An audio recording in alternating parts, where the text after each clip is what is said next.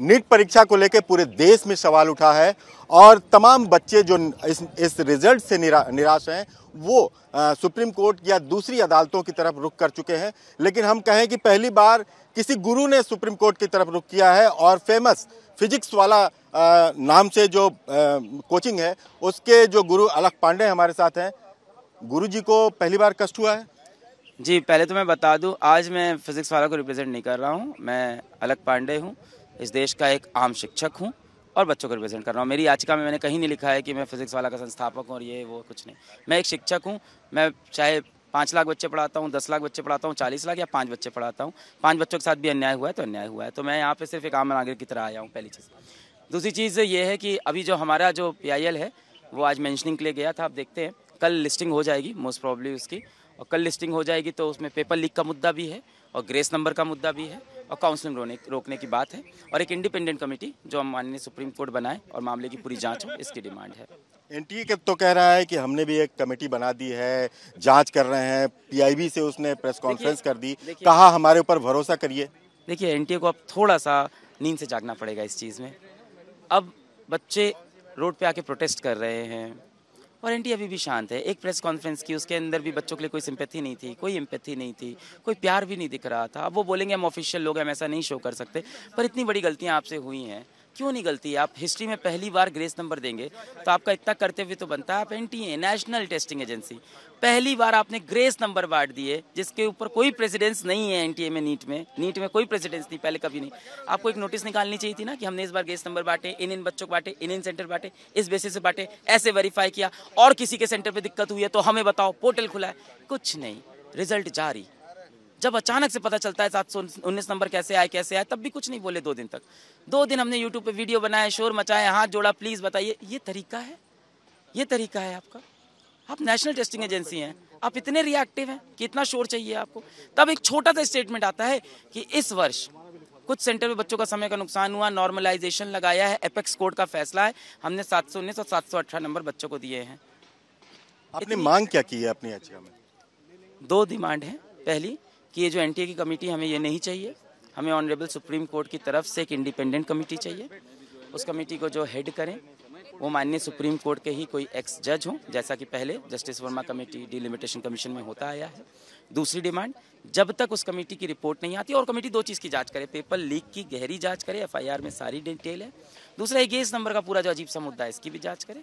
और जब तक इसकी रिपोर्ट नहीं आती है और रिपोर्ट जल्द से जल्द लेके आए तब तक काउंसलिंग को स्थगित करें। क्योंकि एक बार काउंसलिंग शुरू हो गई तो बच्चों का भरोसा उठ जाएगा। बच्चे रोड पर प्रोटेस्ट कर रहे हैं मैं उनसे बहुत मना कर रहा हूँ कह रहा हूँ पीसफुल प्रोटेस्ट करें। पर ये चीज़ अब देखनी चाहिए सबको। लेकिन सवाल ये भी है कि हर साल रिज़ल्ट निकलता है आपने देखा होगा। हर साल एक अंबार लग जाता है सुप्रीम कोर्ट में पिटीशन का। तो ये सिस्टम जो आपको लगता है सिस्टम भी बदलना चाहिए?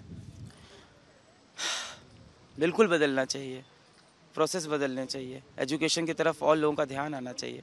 एजुकेशन बड़ा मुद्दा बनना चाहिए देश का। नहीं बनता है प्रायोरिटी पे नहीं आता है। केयरलेस रहते हैं लोग। सेंसिटिव नहीं है लोग एजुकेशन के अराउंड पेपर कराया, सबको पता है कि पेपर माफिया हैं। पेपर लीक होता है सॉल्वर माफिया है रैकेट है, सबको पता है, नाम पता है लोगों को कनेक्शन पता है लोगों को। कोई एक्शन नहीं लेता। इस देश के अंदर एक्सेप्टेंस आ गया है। कि हाँ पेपर माफिया होते हैं, पेपर इतने का बिकता है, रेट पता है लोगों को। एक सॉल्वर का रेट पता है बच्चे लोगों को कि दस लाख रुपए में यहाँ पेपर दिलवा सकते हो, इतनी रैंक आ जाएगी। सारी चीज़ें इतनी क्लियर हैं, उसके बाद भी हम एक्शन नहीं लेते। एक एक्सेप्टेंस आ गया कि कोई बात नहीं, ऐसी व्यवस्था ऐसे ही रहेगी। जिन लोगों का सिलेक्शन हुआ उसमें से कुछ लोगों का ये कहना है कि ये कोचिंग वाले बच्चों को भड़का रहे हैं और उनको एनटीए का वेट करना चाहिए, जो एनटीए का डिसीज़न है।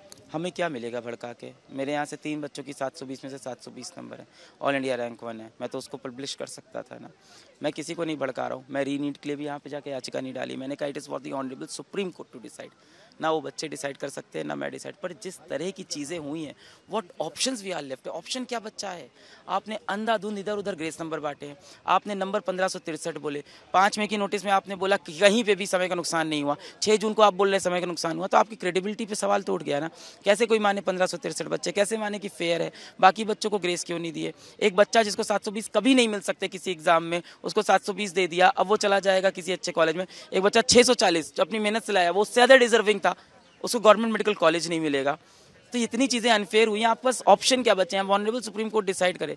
जो बच्चे रीनीट रीनीट रीनीट की डिमांड कर रहे हैं ना वो यही कह रहे हैं कि ऑप्शन क्या बच्चे हैं? अब इसके अंदर कुछ बच्चे ऐसे भी हैं जो बदमाशी कर रहे हैं रीनीट की डिमांड करें मेरा कहना यह it is for the honourable supreme court to decide what next has to be open but जो अभी चल रहा है वो नहीं होगा। और जो बच्चे अच्छे स्कोर लेके आए हैं मैं उनके साथ भी खड़ा हूँ। सिस्टम चेंज भी चाहते हैं बिल्कुल जो बच्चे ये जो एग्जामिनेशन सिस्टम ये जो रोज सवाल मैं आपको एक चीज़ बताता हूँ। जो बच्चे 675 नंबर लेके भी आए ना उनके पेरेंट्स भी आपको यहाँ मिलेंगे। 705 जिसके नंबर आए हैं वो पेरेंट भी मेरे ऑफ़िस में आए थे। कह रहे थे, इस नंबर पे इसको कितना अच्छा कॉलेज मिल सकता था? 705 में कोई कॉलेज नहीं बोला आप सही लड़ाई लड़ रहे हो।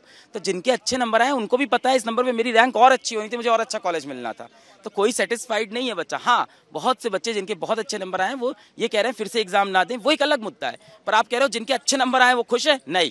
आज 715 नंबर लाने वाला बच्चा भी खुश नहीं क्योंकि रैंक बहुत पीछे चली गई है उसकी। तो साफ़ है कि आ, सवाल बहुत बड़ा है और सवाल एनटीए के साख पर है और यही वजह है कि सुप्रीम कोर्ट पर अब सारा दारोमदार है कि सुप्रीम कोर्ट इस मुद्दे को किस तरह से सुलझाता है क्योंकि लाखों बच्चों के भविष्य का सवाल यहाँ खड़ा हो गया है। वीडियो जर्नलिस्ट संजीव के साथ अखिलेश राय रिपब्लिक भारत।